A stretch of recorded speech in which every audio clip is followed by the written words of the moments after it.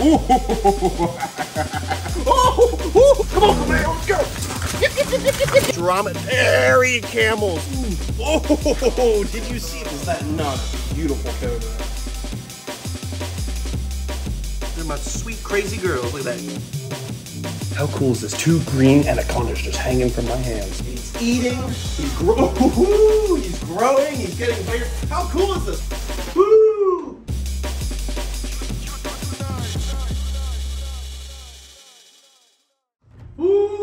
Is going on, my beautiful people? I'm hanging out with Bagoy, my Eurasian eagle owl, my handsome boy. Can I get a whoo? No, just just uh, not so happy horse noises. Just hanging out, enjoying the AC. It is cooking out. We are back in the summer and we're getting all these projects done. I am so excited, guys. We got so much good stuff cooking. Let's go feed some baby camels. I'll see you later, Bagoy. Don't destroy my Olive Garden decorations, boy. I love you, Bagoy. Oh, okay. I love you so much. Okay. Let me touch you. So cute. Guys, I'm hanging out with Rusty right now. And we just, oh! I was just about to say this black dragon's getting real used to us. Oh, look who it is. Cameo Humphrey. You want some milk? Come on, you want some milk, my big boy? You've been pooping on, oh! uh, that's okay, that happens. There you go, big boy. Oh, bro, that was you. You did that. I did not. Don't comment below that I just did that. It was his fault. Oh, here comes Timmy. Uh, okay, let's go. Let's get Timmy. Let's get Timmy involved too. Come on, Camille. Come on, Camille. Let's go. All right, all right. Everyone settle down. Everyone settle down. Timmy, Timmy, tame the beast. Camille, there you go. all right, two beautiful one-hump dromedary camels. Lovely creatures from the Middle East living in the deserts. You know, some people wonder, how do they do in Florida? Will they do good in this kind of climate? Well, the truth is, they're well adapted to the heat, no problem. But one problem is, there's no parasites in the deserts of the Middle East. Ugh!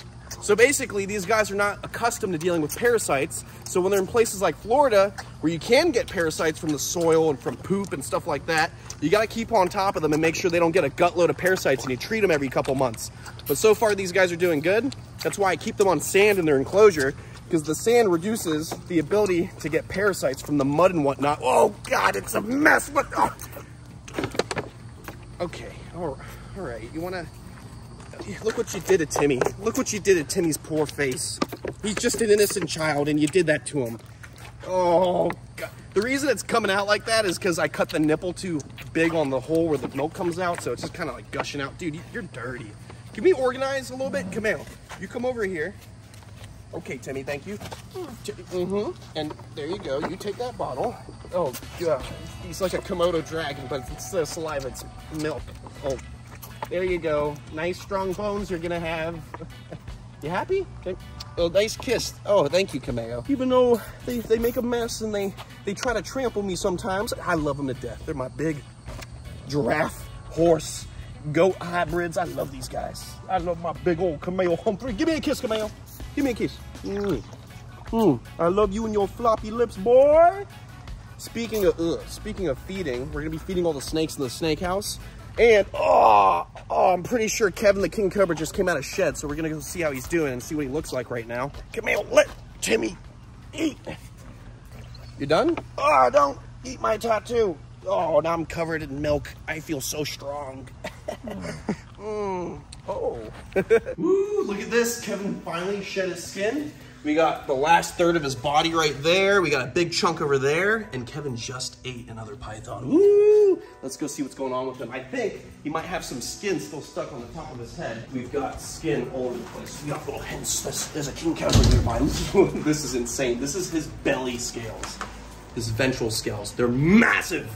Look at that next to my finger. Huge, giant ventral scales used to move the snake. It's incredible. No limbs. These animals are so capable, even more capable than most people. Look at this. More shed skin. And this is a bioactive setup, so I actually do have isopods in here that are going to break down that skin. Look, he's right here. He's looking beautiful. Oh, oh, oh, oh. Kevin, what's up, buddy? How you doing? Want to come over a little bit? His face is a little smushed up Earlier today, I had a tour and he like bumped the glass, but that will go back to normal. He just needs to readjust his jaws. But you see right here, you see there's a little bit of dry skin. He shed all of his skin off except for that bit on the very top. I'm just gonna try and gently, relax, it's okay, buddy. I'm just gonna try and gently remove that skin. It's okay, buddy. I don't wanna manhandle him too much. Woo! The strike range on a King Cobra is immense. Gonna hold for one second. There we go. That's all I had to do. I'm sorry, buddy. Just had to take off that little bit of skin that was still stuck. Look at him. What a beast. Look at him when he comes out of shed. He's so beautiful. What a beautiful King Cobra. Relax, buddy. Nice and easy. See, he just wants to get away. He wants nothing to do with me. Look at him. He can stretch across the whole enclosure, live his best life here in this captive situation. If you're gonna have animals in captivity, you gotta give them everything possible to live the best life. See his lip went right back to normal. It was just pressing a little bit from earlier. What's up, dude? And he's eating. He's growing. he's growing. He's getting bigger. How cool is this? We're inside an enclosure that looks like a little cutout of Malaysia with all this bamboo. You did a good job, buddy. All that shed skin. In the near future, king cobras are going to be split off into multiple species. Right now, it's just one species in the family, but there's got to be at least like 10 to 20 something different types of king cobras out there. Maybe even 30 something different types. Look at that. Let me get that camera for a second. I want to show you guys how beautiful. Wait, I get to see. Look at this guy. Ooh, big boy. You are so good looking, Kevin. I'm so proud. Oh, you're cranky. You gonna go do your thing? Good boy. What a beast. So many places to hide. How cool is that? Woo! Cranky boy. Gotta make sure I lock this so we're good to go. Boy, get out of there. All right, Kevin. I'll see you around. Woo! All right, shields on, ready to go. As you can see, we have another fresh shed from the Spitting Cobra Slipknot. She's a black-necked spitting cobra from Africa. She's got dry venom all over the glass. Gotta give this enclosure a nice deep cleaning. So let's see how she's acting. She must look beautiful now. What's up, mama?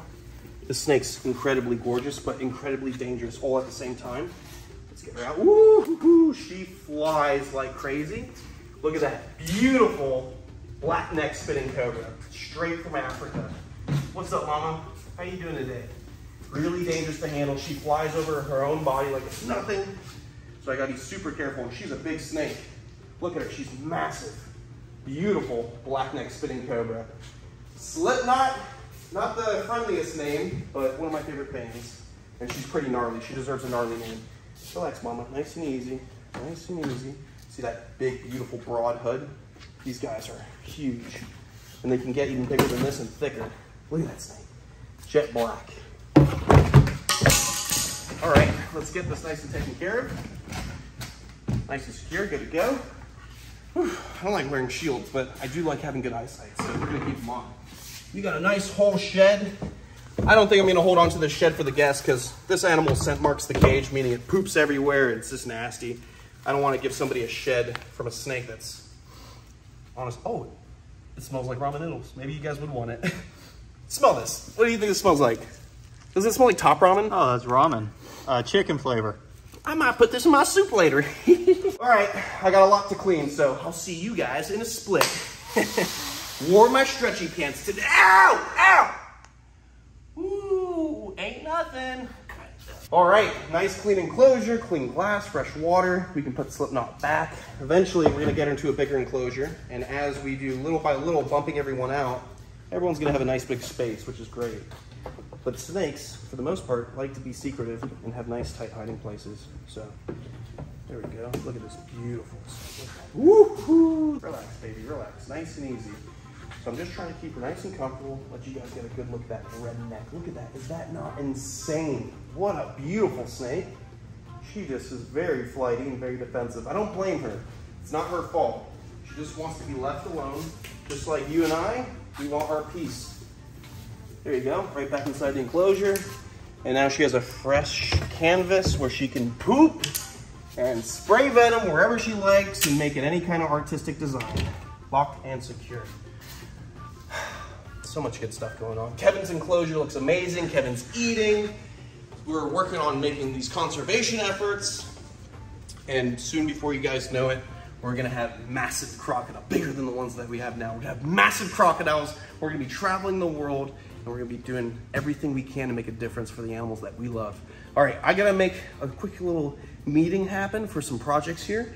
And after I'm done, we're gonna come back and we're gonna feed all the snakes. So I'll see you guys in a split second.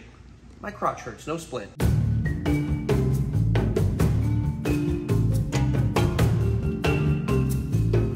Right, my beautiful people, we're gonna be feeding all the snakes. I got a nice bucket full of uh, scrumptious hors d'oeuvres for snakes, and that means I was crawling through the sewers last night collecting rats. So now we can feed all the snakes.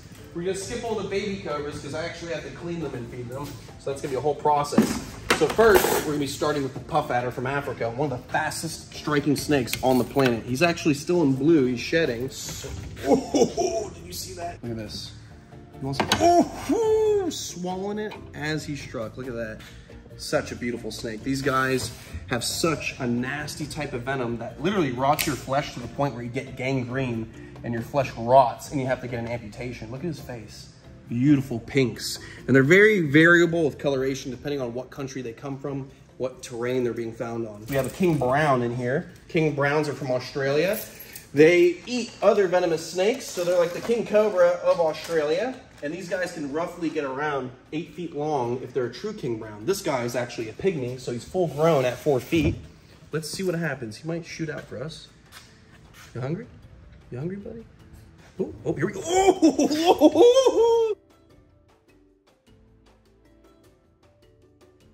Little jack in the box. Look at that guy. Look at him. Oh, he's just pumping it full of venom. So they actually have the largest venom yield of any venomous snake in Australia. Drop for drop, it's not as potent as other venomous snakes found in Australia, but like the king cobra, they have so much venom in one bite, they put their food in toxicity overload, and the body can't process the venom. Therefore, the reptile it's eating becomes food. This snake, this is the crankiest Indian cobra in the collection. Indian cobras are in the top four most responsible for bites in India. For the top four, you have the saw scale viper, the Russell's viper, the krait, and then you have the beautiful Indian cobra. These guys are the reason that so many people get bit every year in India. There are over 50,000 bites in India every year, most of them go untreated because people live in rural areas where you can't get the anti-venom or anti-venin, as you're supposed to say. You want some food? Woo, come on. Ooh, look at that little death roll. Beautiful Indian cobra. Big old boy. He'll get a girlfriend in the future. Maybe he can get hooked up with Marshmallow. Who knows? Let's close that up. Put a lock on it. Make sure it's nice and secure. Yellow anaconda's next. We got a big, beautiful, already at the glass. Just came out of shed. Mick, my yellow anaconda. Come on, Mick. Oh, snap. And there you go. Snap, crackle, pop, baby. That's all it is. It's as good as done. Next, we got Pearl, the leucistic monocled cobra. I think she's going through shed again, so she is growing non-stop. Let's see how she is today. Maybe we can get her to come out for this food. Let's see, a nice decent sized rat for her, because she's gonna be growing like crazy as time goes on. You in there? Oh, hello. Oh yeah, she's going through shed again. Look at that. Hello. Ooh, you're so cranky. Look at that. Beautiful leucistic monocled cobra. So instead of having pink red eyes with like a yellowish skin tone, these guys are clean white with black or blue eyes being leucistic. How cool is that? And more potent drop for drop than a king cobra, because this is a true cobra right here. Here we have the Uracoan rattlesnake, endemic to Venezuela. And like clockwork, this snake will strike out when the glass opens because it's got perfect heat-seeking pits to locate where that food's at. So let's get that rat ready so we're not the food. Just gonna offer a little rat today. Hello. Woohoo! Here, you want some food? Want some food? Nice and easy. Whoa! What kind of strike was that? Come on. Okay, well, food's right there. You can have it. Let's get this nice and secure. There we go. No bites today, nice and safe. Nothing like it out there. You! We got Allison the Black Mamba. She is ready to go. It's summertime, it's hot. She's always ready to eat. So I'm gonna get out two, maybe even three rats for her. Because we want her to get nice and big. Look, look at this, look how ready she is. She does not mess around. Look at this, watch. She's so fast at striking. Want some food? Easy, mama. Boom. Simple as that. She is such a huge black mama. I'm gonna leave that rat. Oh, I guess I'm not leaving it there, but Let me throw another rat right in there. Throw a third so she can have a nice meal and get nice and big. There we go. Get a lock on that. Make sure it's nice and secure. You happy? Look at that face. She's got like black doll's eyes. Well, if you look even closer, she does have some coloration. Almost, almost blue like the ocean if the ocean was pitch black at night. Mm. Mamba's nice and secure. Now we can move on to the pygmy rattlesnake, one of the smallest rattlers on the planet. So we have the big eastern diamondback rattlesnake, which is the biggest rattler out there. And we have one of the smallest, the pygmy here in Florida. He is tiny, but do not underestimate him. He will envenomate you, no problem, put you through a lot of pain. Look at you. That is a beautiful looking rattlesnake. There we go. Just gonna leave that right in there for you. We're gonna close this up and secure it. All right, we still have Tyler Nolan snakes over here. So we have this Eastern Diamondback rattlesnake that we gotta feed. What is? Woohoo! Did you see those fangs? World's largest species of rattlesnake. They can literally get upwards to eight feet long. That's insane. Imagine an eight foot rattlesnake. And then we have a South American rattlesnake down here. Want to check? Woo! Check for you. Huh? How's that? You want this? Boom! What a pig of a rattlesnake. Just gonna close that up. Infamous copperhead that everyone likes to talk about. Copperhead chased me. Copperhead stole my car. Copperhead took my wife. So many things copperheads do, but I'll tell you what, they're good snakes. They're just here to eat little mice and frogs and live their lives and be left alone. So if you see a copperhead, you should leave it alone too. They're good for the environment. Ooh, right there, ready to go. This snake is really bitey. It's like a little fertile ants. Want that? Nice big rat for you, buddy. Gonna get nice and big. Be the world record copperhead. And then we have the rinkhals spitter down here. I love spitting cobras. They're beautiful, but man, it's not fun to get spit on. I mean, comment below, do you like to get spit on? Wait, you like to get spin the mouth? What? Oh my goodness. Little rinkhals. Oh, that was really cool. Whoa. Okay, okay. Eat the rat. There we go. Psycho, psycho, psycho. All right, good thing you didn't spit in my mouth. Gonna put a rat in here. There we go. And now we can separate these snakes so they can all feed individually and not steal from each other. I just have to be very careful because when they smell rat, if you get bit by them in this stage, they're thinking there's food around, so they might fully envenomate, which would be a deadly dose of venom, especially when it comes to an Indian cobra, being a very highly neurotoxic snake. So we're just gonna take Marshmallow out. Marshmallow, come here. Look at that beautiful Indian cobra. Oh, look at that hood. Is that not a beautiful cobra? I can't wait to breed this girl. They mate like crazy, but she needs to get some more size on her. She's getting there. Little bit. Oh, already went for the bite. Already looking to eat. Look at that. Boom. She doesn't care. She knows. She's like, oh, this is the condo you put me in to eat food. Look at that. Right away, chewing on the rat. No problem. So she's to keep growing like crazy. Now we have the boyfriend. He's going through shed. He's got some good size to him. He's a bit of a beast. He's not too crazy of an Indian cobra like my other one. You hungry? You hungry? Uh-oh. I think he's, oh yeah, he smells it. You want that? You want that? Come on. Boom. Perfect bite. There we go. You can see his eyes are a little opaque, so he's not seeing that well, but no worries. Some food's gonna make him feel real good.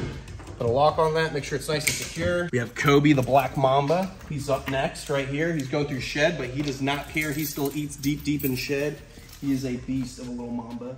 One day he's gonna be a monster. They can literally get 14 feet long, being the second longest venomous snake on the planet behind the king cobra. Let's see how he reacts today. Kobe. Kobe. Kobe, what are you doing, buddy? See his face? Oh, whoa, whoa, whoa! Look at that. Deep, deep, deep in blue. Look at that face. Holy smokes. Imagine getting bit by a black mamba. That would suck. Good things biting the rat, not me. They are one of the most powerful neurotoxic snakes out there. Not in the top 10, but definitely able to shut your body down. Ooh, look at that. See the black on the inside of the mouth? That's why they're called black mambas. Look at that snake. Here you go. One more rat. Now let's close this up. There we go. Put a lock on it. Nice and secure. And now we can separate these eastern diamondback rattlesnakes. What's up guys? Look, they're hungry. They already know. They have the forked tongue, which allows them to pick up scent particles in the air. So they know that there's food already and they're going crazy. That's why they're so active. Did you guys know that a snake has a forked tongue? So whichever side of the fork picks up the most scent particles, it tells it what direction to head into. So if the left side has more scent for a rat, they know to go in the left direction. How cool is that? This is my male Wait, no, this is my female. She's a big girl. Look at that beautiful rattle, gorgeous looking rattlesnake. Okay, we gotta get her into the tub in a safe manner. And as you guys know, nothing I do on my channel is safe. Everything's very dangerous. Let's get it right in there. There we go. Locked and secure, ready to eat, so she can stay in there. Let's take care of the male. You want this? Big rat, there you go. Boom. Leave that right there for him, nice little snack, nice and secure. Uh, I don't want to feed this death adder too big of a rat. You can see the death adder is wiggling his tail right now. They use their tail as a lure to lure in skinks in the wild because skinks are so fast. These guys have to be the fastest striking snake on the planet and they're in the top eight most venomous on the planet. You hungry? Ooh, super fast. Look at that little guy.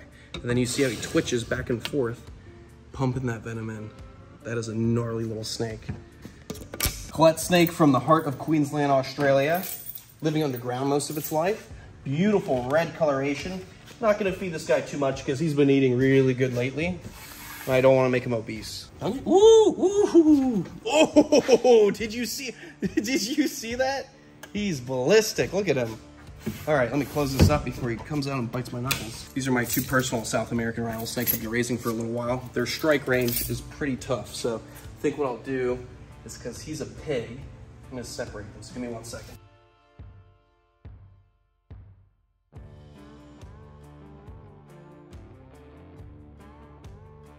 Now we got, ooh, they're all striking.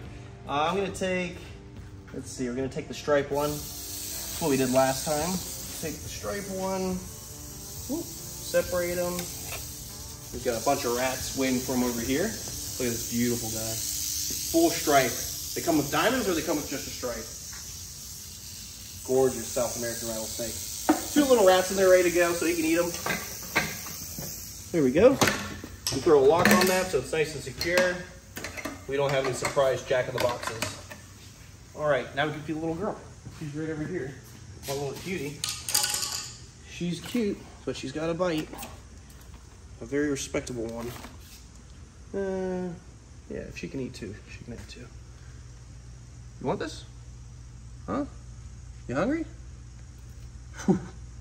Well, there's a lot of power behind that strike. You can feel it in the tongs. All right, put a lock on that. Make sure it's nice and secure. Good to go. Come on, King Tut. Woohoo! Come on. Woohoo! What's up, buddy? Come on. Whoa! He's like, I am not coming out of the cage today. What a beast of an Egyptian cobra. The same snake believed to be used by Cleopatra for suicide. How, how gnarly is that? Locked and secure. Oh, hey, Big Bertha. Big Bertha, the mother of all the baby cobras that I've been taking care of that we hatched out a couple months ago. She just shed again. She's getting nice weight to her. Big Bertha, she can have a nice rat. She's a monocled cobra. The first ever cobra I handled when I was a little kid, learning how to work with cobras. She's a beast. Look at her. You take that rat right in there. There we go. And then we're just gonna take another rat, toss it in there so she can get fat. We want her to get some weight on her. Nice and secure. My female plain black snake. Oh. Whoa, look at that. Beautiful plain black snake. Looks like a black racer, but has enough venom to kill you and me both. Chinese sharp-nosed viper. You guys know this snake doesn't play any games. This is a pogo stick with fangs, and if you get bit, they say you have 100 steps left to walk. So crawl the last 20 steps, maybe get a wheelchair and wheel on out. I don't know. All right. We don't want any problems. We just want to feed you. Okay, okay, you stay in that enclosure. Okay, Mr. Chinese. Mr. Mr. Pinocchio. Here you go. Eat the rat. Eat the rat. We don't want violence. We want peace. He just wants a heat signature that he can bite. Kind of like the. Ooh! ooh, ooh, ooh, ah! okay. oh, oh, let's close it. nice and secure. that snake's no joke. This is one of the snakes that doesn't put me on edge, but I got a lot of respect for every snake in here. But this one, a little bit extra. And then my green anacondas. So these guys are gonna keep growing and growing. And it is a privilege to be able to have these in the collection. I love green anacondas. What's more iconic than a green anaconda? Okay, yeah, a king cobra is more iconic than a green anaconda. A lion? I'm not getting a lion. Keep it for the comments. I'm trying to make a video. Shut up. Come here. Ugh. Gotta get you out of here if we're gonna feed you. There we go. So we got all these green anacondas ready to go. These are two ladies. I like to call them the Twisted Sisters because they're my sweet, crazy girls. Look at that, twisting up. Nice rat for you. We're gonna separate her. And then we got another rat right here for the other sister. Hello, Twisted Sister, would you? Oh, baby, you got some nice claw. Oh, you got a little blood butt on that rat, you see? Two beautiful green anacondas. The heaviest snakes on the planet. Longest snakes would be reticulated pythons, but these guys are the heaviest, getting upwards to 250 plus pounds, sometimes even more, and they can get roughly around 18 feet long. How cool is this? Two green anacondas just hanging from my hands. I love my life. All right, I'm gonna put this green anaconda right in here. This girl's gonna eat separate. We're gonna take this big girl and put her in the can. The snake horn receptacle, to be real specific. So you can read it right there. I'm not making stuff up. That's what it is. It's not a brute trash can. It's a snake horn receptacle. Get it right. Now, I'm gonna wash my hands so I don't get bit by another snake thinking my hands are rats. We're gonna do some Gaboon Vipers, the world's longest fangs and the largest venom yield oh, of any venomous snake on the planet. They have more venom in one bite than a king cobra. Can you believe that? King cobras can get over 18 feet, and this guy can have more venom in one bite. This is a little one. They can actually get like six foot with a head that big with two plus inch long fangs. Look at that face. I'm gonna get you guys real up close right now. That is a beautiful snake. How can you not love Gaboon vipers? And there are two species. This is Rhinoceros, which have the rhino horns right on the tip of the snout. So there's East and there's West African Gaboon vipers. And then you have rhino vipers, puff adders, Ethiopian mountain vipers, and one or two other species in the Bitis family. Short, fat-bodied snakes with gnarly fangs and venom. Yeah, thick little bodies, baby. Woo, sunshine. You hungry? Woo hoo! come on, sunshine. A beautiful male albino monocled cobra. Love this snake. You hungry? There you go. Look, already going in reverse. All right, guys, that's gonna be it for this episode. I hope you guys enjoyed. Comment below what you wanna see next, and always follow your dreams. Do what makes you guys happy in life. This is what makes me happy, presenting wildlife to you guys, doing exactly what I'm meant to do, which is showing you guys the things that I love, Woo! which is crocodiles, snakes, camels, kookaburras, all that cool stuff. So I love you guys. I'll see you on the next one. Stay beautiful, stay safe, and always stick to what you love. Follow your dreams. Everything will fall into place.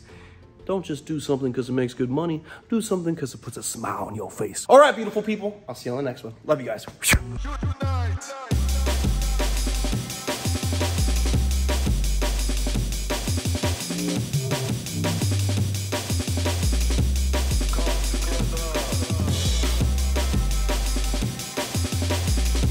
Dromedary camels, lovely creatures